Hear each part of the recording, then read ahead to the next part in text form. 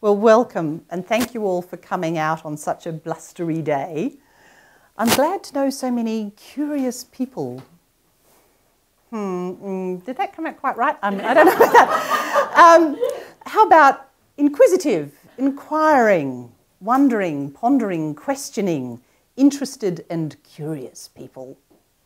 What's she been up to this year? And what on earth did she mean by elementary art? Was it a typo? Uh, did you mean elementary art? They're questions I've heard quite a few times over the last few weeks. I've often heard somebody say, I don't know much about art, but I know what I like. That's elementary art, art that you respond to in your gut. Elementary food is food that's good for you, food that nourishes you, this is elementary art, art that supports, sustains, and nourishes you, art that makes you happy. Come next week and see how five children took on this idea and, and really ran with it. They've, they've extended it even further into a bake sale and a raffle and paintings. They're raising money for the Children's Orphanage in Cambodia so they can help sustain others as well. Elementary art indeed. So you see around you images of food, harvest, nature, but the impulse behind it continues to be memory. Last year, I put on a major solo exhibition at Greenhill Galleries as a celebration for my mother's 80th. Um, and many of you came to see that. Thank you for that. Um, about a month before the opening, I was tying myself in knots. It's not unusual. Because there were more images in my head than I had time to paint. And although those images were related by inspiration, they weren't related visually to the original concept. And I was so frustrated. It took my sister Leslie to cut through all the angst with a simple, why not have part one and part two? So thanks, Les. Today you see many new works around you, part twos of series that I've exhibited previously. But I wasn't quite finished with the series yet.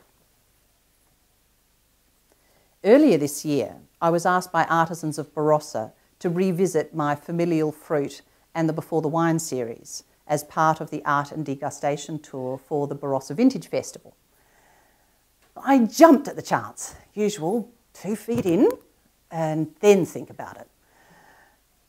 And in spite of a very tight deadline, I was really wanting to do this particular series, partly because of these images behind me of the grapes and the snails. They've been nagging me to paint them since they missed out on the last exhibition in 2011. But what to do about the timeline? Many of you know firsthand that I don't paint quickly.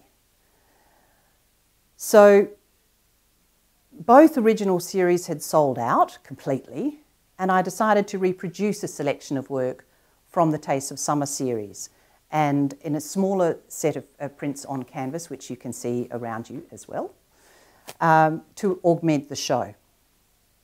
And then I couldn't resist painting these luscious quinces.